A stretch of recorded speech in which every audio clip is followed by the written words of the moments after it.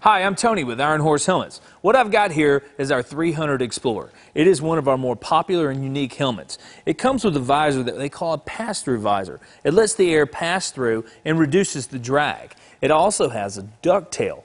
This is one of our most low-riding, low-profile helmets that we have. Well padded, comes equipped with a nice nylon reinforced strapping that works with a quick release button. Um, this helmet is DOT approved, weighing just over a pound, and comes in sizes that range between extra small and double X.